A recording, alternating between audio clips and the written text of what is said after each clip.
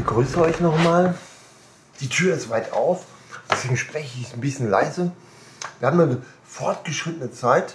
Jetzt gleich in einer Stunde, 16.24 Uhr bricht der Herbst aus. Heißt, Pullover, Strickmütze etc. schon mal bereitlegen. Bald kommt ja der Herbst. Im Moment haben wir immer noch 24 Grad, deswegen ist auch die Tür weit auf. Ich hatte gestern am 21., heute ist der 22.09.2016, einen Bericht, weil fand ihn doch berichtenswert. Den Bericht über Gefahr von rechts. Ich habe ihn rausgesucht, Gefahr von rechts.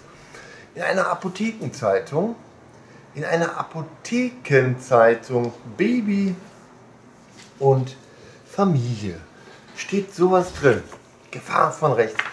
Da wurde allen Müttern in der Apotheke doch mal klar gemacht mit dem Begriff rechtsradikal. Wurden nämlich jetzt so Männer wie ich, Glatze, Bomberjacke habe ich noch nicht, könnte ich aber raussuchen. Ähm, ah ja, mit Baseballschläger in Zusammenhang also Baseballschläger, Glatze, Bomberdinges, das sind Nazis. Wow. Aber jetzt geht's los. Ne? Hier steht's, ne? geht auch gleich hier los.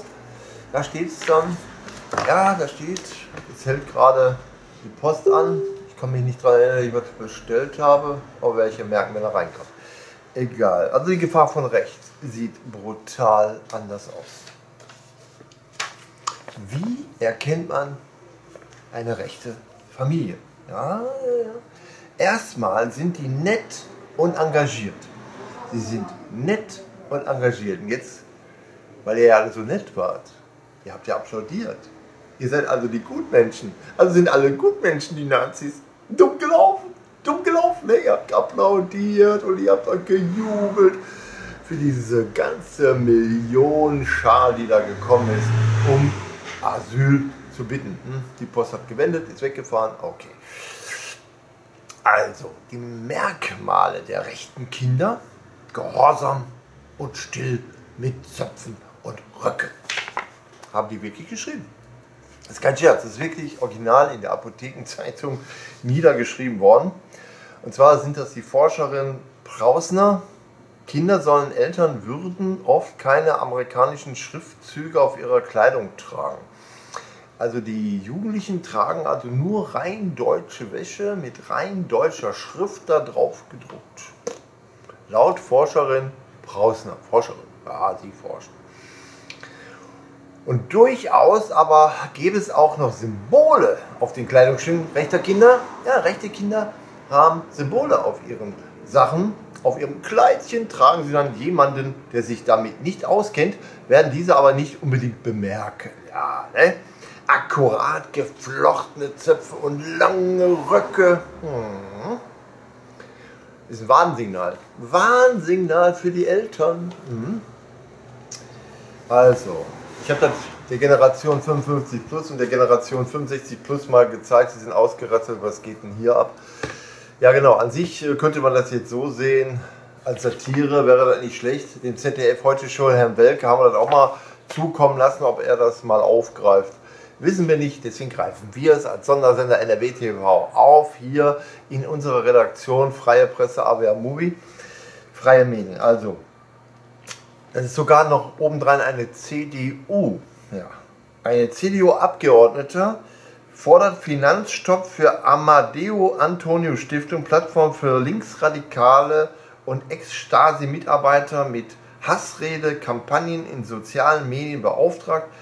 Piratenpartei spricht von Gedankenverbot. Piratenverbot, ne? von Gedankenverbot. Ja, die zerstückeln ja Menschen, fressen die irgendwie auf, schmeißen die weg und schmeißen sich dann selbst weg. Ne?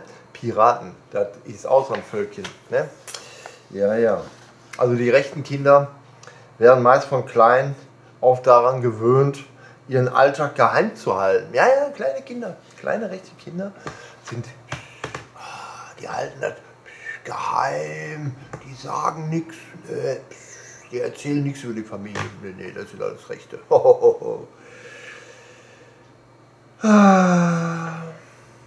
Also, Es gäbe auch durchaus Symbole, darum Hinweise an die Rechte. Grüße, was brauchen wir? Ähm, wie viel kostet äh, äh, Blatt ausdrucken? 20 Cent. 30 Cent? Nee, 20. Plus Ding ist also 40 Cent insgesamt. Okay, gut, danke. Ja, tschüss. Tschüss. Ja, dem war das wohl zu teuer. Ja. Aber von irgendwas müssen wir ja leben. Ne? So müssen wir ja auch bezahlen. Ne? Ist ja klar. Ne? War plötzlich hier drin, war ihm das zu teuer. Ja. Ist ihm so. Ist ja klar. Ne? Ähm, also ist schon Hammer. Ähm, wer ist denn das überhaupt hier? Sonja Osmek. Sonja Osmek. Äh, wie gesagt, Baby und Familie. Baby und Familie. Ihr kennt, wenn er in der Apotheke geht, geht also ihr geht in die Apotheke, da bekommt ihr solche Hefte. Ähm,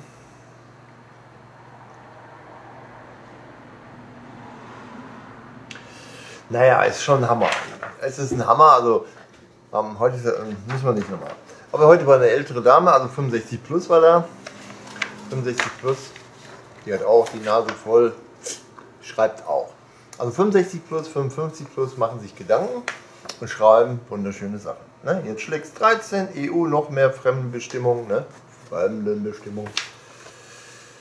Also, wir beschließen etwas, stellen das dann in den Raum und warten einige Zeit ab. Was passiert? Wenn es dann kein großes Geschrei gibt und keine Aufstände, weil die meisten gar nicht begreifen, was die da beschlossen haben oder was beschlossen wurde, dann machen wir weiter, Schritt für Schritt, bis es kein Zurück mehr gibt. Ne? Die beschließen einfach, die machen einfach.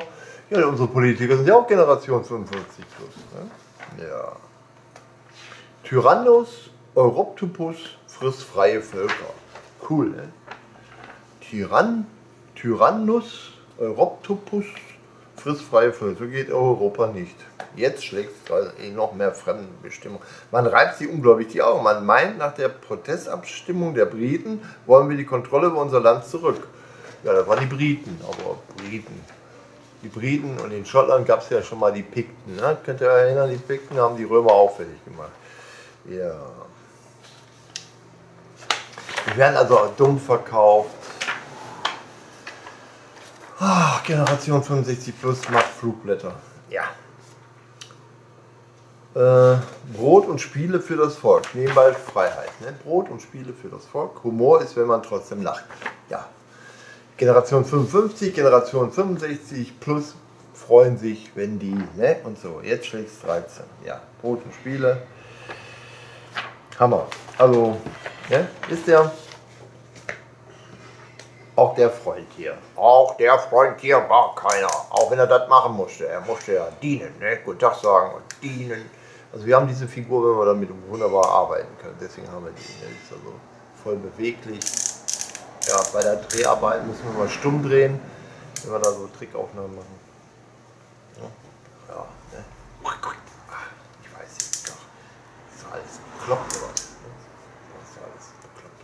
Ja. Also was. Aber hört sich gut an. ja, der arme Kerl. Also das war auch kein Nazi, das war ein Soldat. Mhm. Der arme Kerl. Der musste da warten, musste mit so einem Ding da rumschießen. Ne? Konnte da so klack, ne? peng, boom. Ja? ja? Also mit solchen Figuren kann man auch arbeiten. Wahnsinn, was man damit alles machen kann. Kostet Schweinegeld, aber egal. Ne? Oh, ja, rennt er da rum. Ich bin ein Soldat. Nee, ich bin aber kein Nazi. Nee. Es war ein Soldat. Ein armer Soldat, der seine Rübe hinhalten musste, weil irgendwo ein Pappkopf da Politik spielen wollte. Tja, das Leben ist hart. Ein Soldat ist härter. Ja, so. Wie gesagt, eine Feldflasche, aber zum Trinken, Gasmaske ne, und Koppel. Ja, der arme Herr latscht nicht mehr. Ja, den gibt es auch nicht mehr, Gott sei Dank. Also mein Leben wenn ich schon bei der Figur war, die ich gerade gezeigt, den Soldaten, ach, den Soldaten mit dem Spaten, ne? oder wir ziehen den mit dem Spaten ins Moor, so gab es auch Lieder. Ähm, wir haben heute, wie gesagt, den 22.09. 16.24 Uhr ist der Herbstanfang. Ähm, wir haben darauf aufmerksam gemacht, dass am 20. September, 20. September sowas hier verbreitet wurde, dass jeder Mensch die Gefahr von rechts erkennen möge. Blonde Frauen mit blauen Augen und Kinder mit Zöpfe, die friedfertig durch die Gegend ziehen. Aufpassen, das sind alles Rechte. Ne? Ich mache auch gleich rechts hier, nämlich fliegt ein Brummer, den haue ich gleich was vom Kopf. Ja. Okay, worauf wollte ich hinaus? Äh, wegen der Figur, richtig. Es gibt ihn immer noch, den Basti. Ja, den gibt es immer noch, den haben die gar nicht gelöscht. Es gibt immer noch den Basti zu kaufen. Bastian Schweinsteiger, ne? Als Soldat. Ja, gibt es wirklich. Kann ich euch eben zeigen hier, ich drücke hier mal drauf. Das ist die Firma Ditko in Amerika. Ditko. Die Firma Ditko verkauft diese Figuren, die ich gerade hier hochgehalten. Und äh, da strahlt mich doch immer noch der Bastian Schweinsteiger an. Bastian Schweinsteiger, natürlich gut, die haben auch andere hier. Secret Special Agent ist ein echter guter Schauspieler, den ihr auch alle kennt, der da gezeigt wird. Auch Pitt wird gezeigt. Ähm, gestern habe ich euch ja den Putin gezeigt. Ne? Ich kann mal eben nochmal runterziehen hier. Kann man ja, an sich klappen. Mal lockern. Kann ja, ja, wir arbeiten mit Stativ. Oh. Her. So. Oh. Ne? Das ist jetzt der Schauspieler, den kennt er sicherlich mal. Uhu. So, Kunde äh, ist gerade wieder raus. Ähm, jetzt zeige ich euch mal eben den Schweini. Da ist er. Da ist Schweini. Hier. Das ist Schweini. Und ein gewisser Hans mit Schielauge. Ne? Gewisser Hans mit Schielauge. Und hier rechts ist unser Schweini. Ne? Schweinsteiger als deutscher Soldat. Und die junge Frau hier ist die Sophie. Die sieht auch jemanden ähnlich, wenn man genau hinschaut. Das hier ist natürlich auch ein Schauspieler hier links außen, der Kul, Kuli, wer ist der? Kaulikov. Kaulikov. Der Herr Thomas sieht dann so aus. Hier der Johannes Major Achbach, ne? Michael Wittmann, Sergeant Major Wolfgang. Ne? Ja, da sehen die so aus. Na, man, und die US sieht dann so aus, da ist auch Brad Pitt, ne? da ist der Brad Pitt hier zu sehen, Brad Pitt. Äh, Russien, mal eben gucken, Russen haben sie keinen mehr im Moment. Moderne Militärie, was ich euch jetzt zeige, gibt es wirklich in Amerika und das ist kein Scherz. Basti Schweinsteiger gibt es immer noch als deutschen Soldaten. Er wird uns als Hans verkauft. Für alle Militär-Hobby-Fans, ihr wisst genau, Militär-Hobby-Fans, so sieht er aus. Ich zeige ihn euch jetzt mal. Den Bastian Schweinsteiger als Hans, als Actionfigur. Als Fußballer hätte er mir ja schon gefallen, aber jetzt als Actionfigur, als Hans, Zweiter Weltkrieg. Hm. Schaut selber, ich zeige ihn euch. Also, ihn gibt es. Das ist Schweinsteiger. Von vorne, von hinten, als Soldat. Ja, den gibt es in Amerika zu kaufen. Für die Amerikaner ist das ein normales Gesicht eines Deutschen. In denen ihre Augen ist das normal. So sah er aus, der Deutsche. Und Schweinsteiger muss jetzt dafür herhalten. Ja, kann man kaufen. Diese guten Herren hier kosten nur ca. 159 Euro. Samt Inhalt. Das ist das Zubehör vom Hans. Hans als Schweinsteiger mit Pullover, adrett gekleidet. So wird er uns in Amerika präsentiert. Das ist der Hans. Ja, so sieht er aus, der Hans.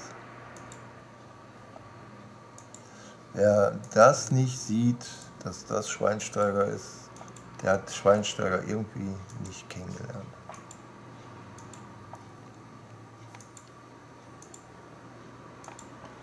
Amerika.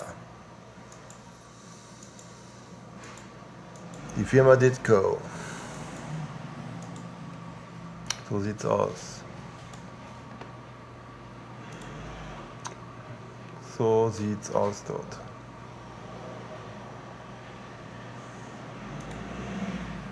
So sehen alle aus, die Herrschaften. Gut, das ist natürlich ein amerikanischer Schauspieler. Der wird wohl nichts dagegen haben. Wie sehen, sehen wir ihn gar nicht. Komischerweise. Da hat der Schauspieler auch was dagegen. Doch nicht, da kommt er. Diesen Schauspieler kennen wir aus verschiedenen Filmen.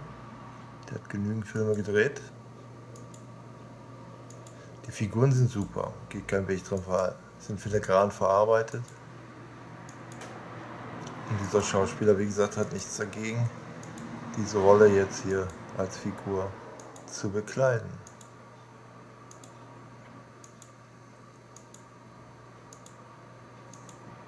Aber das mit Schweinsteiger ging ja noch ein bisschen weit. Ne? Okay, das ist die Firma Ditko aus Amerika. Was haben wir denn noch hier? Fringe. Ja, die lassen uns auch noch gefallen hier, Fringe. Wer die Serie kennt. Die Figuren sehen ihr ziemlich ähnlich, naja, nicht so ähnlich. Da würde ich sagen, nehmen wir den Schauspieler hier. Der ist wirklich auch wunderbar zu erkennen aus der Serie Fringe.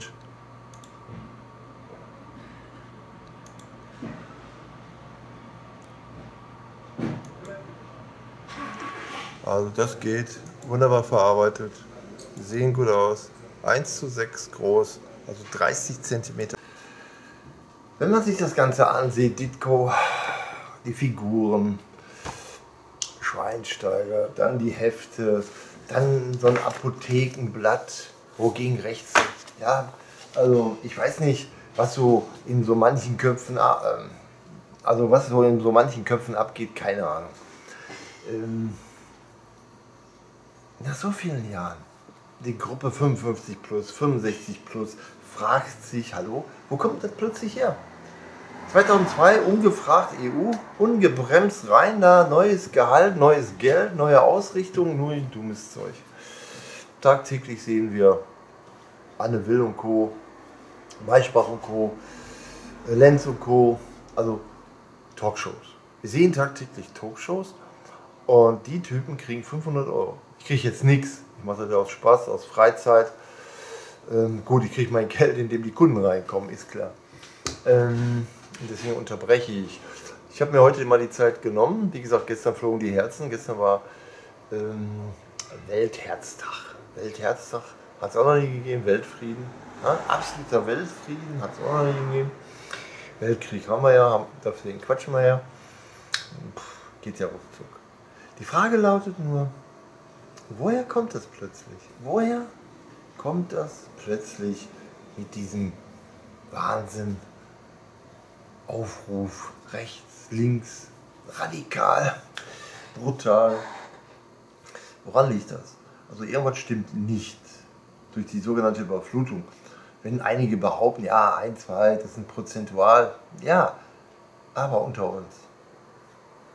Ja, Hoeker in seiner Talksendung NR. Wisst ihr noch die Talksendung am Freitag? Ist Hohecker aufgestanden.